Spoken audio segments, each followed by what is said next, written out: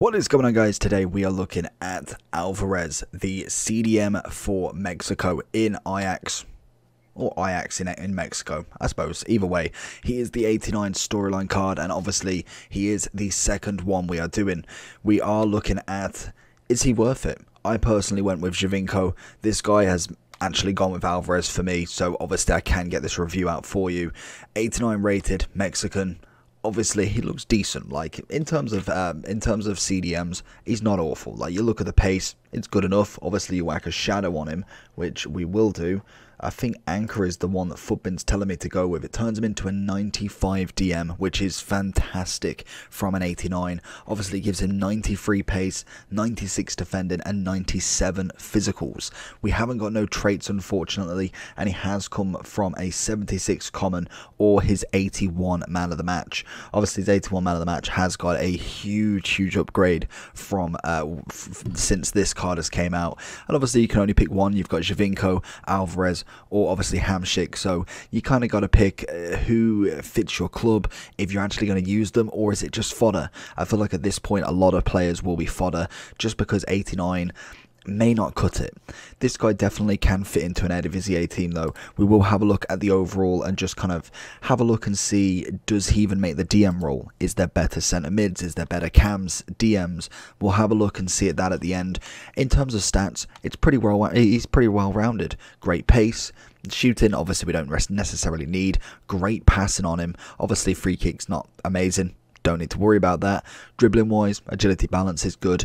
Um, reactions, ball control, fantastic. Great composure. His defending and physical, both with the anchor, are absolutely mental. So let's jump into him and see what's he like as a defender. I think for me, he definitely could be in for a shot with a lot of people, just because of the, again, like Giovinco, he's got a good league. I think uh, obviously Eredivisie is that tiny bit better, just because obviously we did get quite a few nice team of the seasons, and if you have done a lot of the SBCs like Flashback Robben, you obviously have uh, a relatively decent one, and Anthony, In fact, he was a great team of the season we got. So there is quite a few decent players out there. Can we find that ball down there? Oh, Mbappe just manages to get it back. His passing does seem very, very nice. That's what we want to see from him. But in terms of kind of like his his uh, league, I think that for me definitely beats the Saudi, but definitely the uh, nation not quite as good. What actually it has to offer. There probably is quite a few decent players that I completely forgot about. One of them, obviously, Lozano is absolutely cracked and again he feels very very easy to get onto the ball. Obviously in terms of uh, what else he can do he's going to be very much defending orientated. He's not necessarily going to be your man in the middle as such. Ah, Saka's going to take that ball away from him but he's not necessarily going to be your box to box if anything but definitely as a DM as a solid DM as well he's going to put in a big work. I can already see that from him. We see a bit of D oh he's offside. That would have been a cracking ball as well. Oh yeah, he was offside. Just seems very easy to get on the ball, to be honest. He's just always in that right position. And definitely his passing is, is a huge asset to him. Can we see him in? Oh, I, I took the shot too early. I didn't think I was going to get that back, to be honest. And again, he's really pushing up the field. Good interception. Doesn't necessarily take the ball, but does enough to quell that attack. And again, you can see him just making that run in that middle. It's very nice to have that option, to be fair to him. And at the moment, he hasn't put a foot wrong as we get tackled by our own player. That could have been the second assist already. Alvarez watching Pogba, making sure that he goes away from him, gets the interception. That is exactly what you need from a DM. Don't need him to fully commit, just make sure you make that tackle, and that's absolutely gravy. Oh, we've gone for a, a, very, very risky ball then. I'd have been very surprised if he managed to make anything from that, seeing as though two defenders was in his direction. Oh, it's lovely. Just finds the opening. Great tackle again. Pogba is going nowhere. And that is the 95 Pogba as well. Good tackle again. Just taking the ball away from players. Softly playing it away. Obviously, I think in terms of uh, maybe a starter DM, is going to be way behind the curve. We've had so many good DMs that I just don't think he's gonna make it into a starting team anymore. But like I say, into oh damn, into maybe like something like a, a, a squad building team, and like I say, Eredivisie Mexican, you've got more than enough capability for him there. We will obviously check in the overall what we've got to work with in terms of obviously in the Mexican team and obviously in the Eredivisie, see who else is there. As I'm pretty sure the Eredivisie wow. I'm sure the Eredivisie had a lot of decent players as well, a lot of good midfielders. So whether he makes it is going to be the next question. But so far, so good with him. His passing has been on point, been on the attack constantly. That's kind of what I want from him is is to kind of be able to do both roles, but not necessarily need him to be more of the scorer. Somebody who's just going to lay the ball off to the strikers, add that extra number. But then as the DM, he's going to be absolutely phenomenal. Oh, look. Oh, I thought we may have just been able to dink that over Lindelof. Alvarez finding a cracking ball back into R9. That's a great save from Edison. Alvarez. Oh, as he found Maradona in.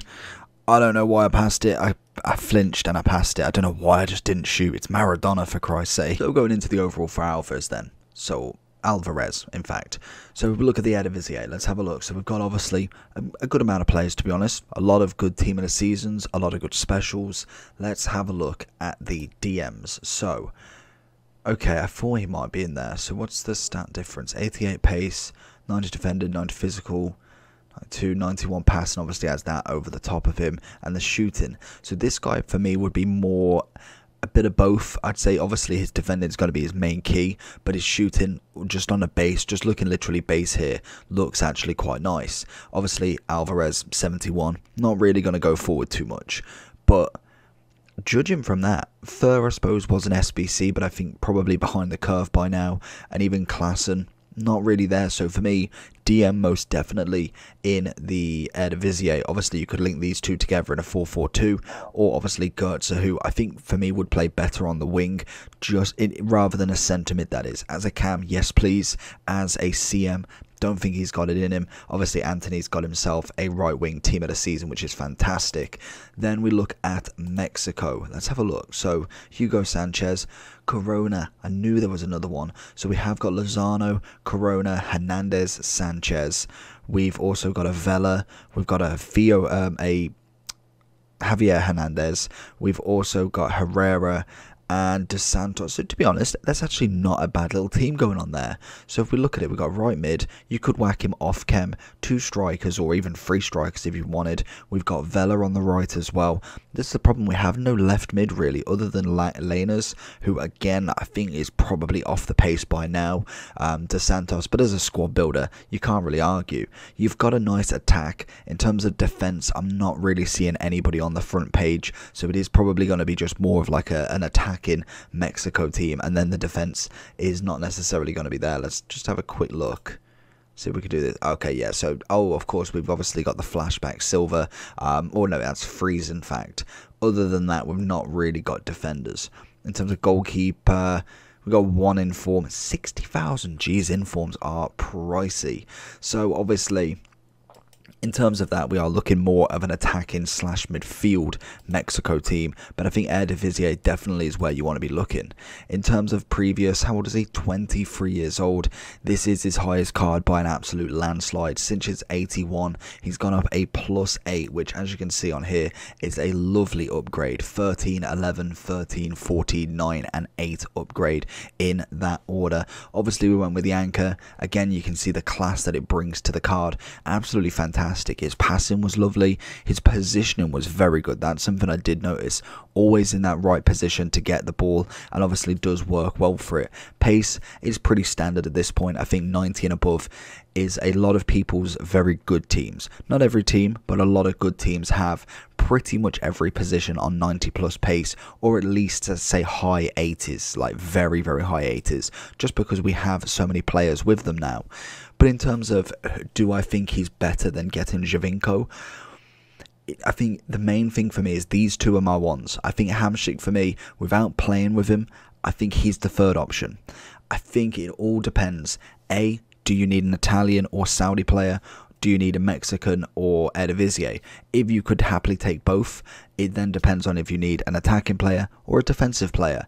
I think in terms of who's going to make the most noise in terms of what team they go into. So, for instance, an Italian Giovinco or obviously the Saudi SB, uh, the Saudi squad builder compared to Mexico and um. I think Alvarez probably takes it in terms of which card fits him better. I think Giovinco is replaceable with Romarinho and the other two strikers, whereas I think Alvarez, for me, is probably the best DM in Eredivisie now. So for me, that's got to be the one I'd take. Um, obviously, looking back at it, probably this is why this person wanted to take Alvarez over Giovinco, but we've managed to get two of them out so far. Stay tuned for Hamsik. It could absolutely all blow over the water if he is good. But we will see. So make sure you like and subscribe down below. We're going to be bringing out Hamsik very, very shortly. So don't miss it. Bell button. Pieces.